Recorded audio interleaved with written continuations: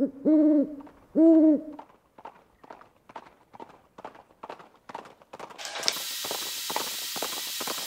that wasn't like a rental or anything. You have to talk Happy Vlogtober Day 15, YouTube.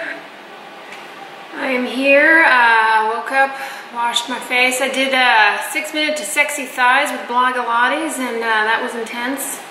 And now I'm gonna whip up a little uh, crock pot applesauce. So I thought I'd show you guys how I make this. It's pretty brainless. Uh, you know how I roll. So uh, let me just show you right quick. Um, los ingredientes, real simple here. Um, I'm using uh, five apples of a mix. I use uh, Granny Smith's, and I think this is like a Fuji or Fiji. You don't have to get highly specific. It depends on your flavor profiles. Um, you know, depending on how much you want to make, 12 is usually a good number, but these are sort of Texas size apples, so I'm going to equate this to about 10, and it's just for me, so we don't need to go hog wild here. Um, and then I'm going to be using uh, three of these cinnamon sticks that I got at uh, good old HEB um, and then some uh, fresh ginger, and then I'll just kind of uh, uh, liberally sprinkle in some of this apple pie spice, which, and then I cook that on low, um, and kind of midway through the cooking, I'll add a little bit of this uh, xanthan gum, which is a thickening agent. You could use cornstarch. This is uh, gluten-free. Um, if you have uh, celiac disease, gluten-sensitive enteropathy, or dermatitis herpetiformis, I'm pretty sure Bob is a close amigo and, and, you're familiar with his line of products. But I use this. Oh, it's also kosher.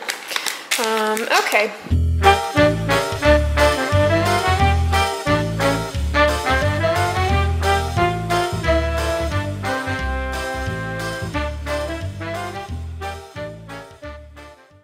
Okay guys, so you can see I have all the apples chopped up there. I've got two, um, actually I've got three uh, cinnamon sticks and then just a dash, dashes of that uh, apple pie spice and then two tablespoons of this Truvia brown sugar. So I got off the phone with my mom and I'm headed out to get some lunch. It's about uh, 12.15 and I have not eaten anything yet, so. Alright, so I got uh, Greek yogurt with berries and uh, this broccolini egg white scramble and naturally coffee, which I'm already downing. Yet another uh, satisfying uh, Houston restaurant experience. I gotta say, aside from uh, the Baba Ganono, I have not had a bad meal here.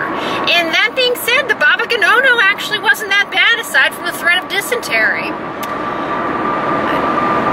Beautiful day here. Um, we are on route to a ranch to see some scarecrows. So stay tuned, folks. It's 88 degrees and sunny as can be.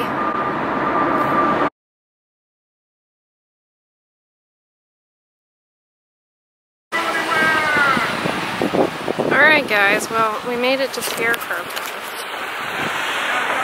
Out here uh, on the ranch, which I guess is basically a subdivision, but whatever.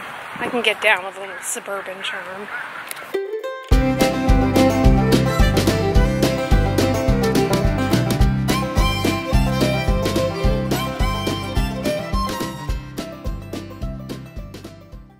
Impressive array from local artists. Well, we are back from Scarecrow Fest. That was a, a riot.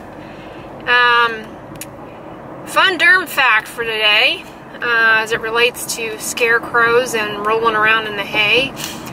Pyemotes ventriculosus is a little uh, mite that can live on uh, barrels of hay.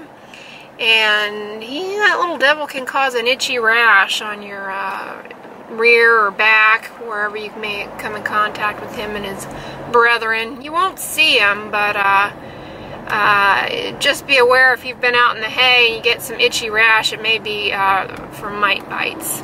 Um, so yeah, that's the fun uh, fall fact for today. Grain itch, folks, grain itch. What's up YouTube? I'm back. Um, and the cinnamon spiced apples are ready to be blended up for the applesauce. Smells delicious. Here, I'll show you guys.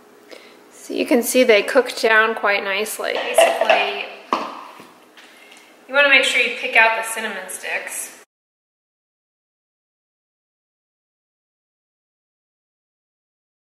And there you have it, folks. About uh, one and a half uh, quarts of uh, applesauce.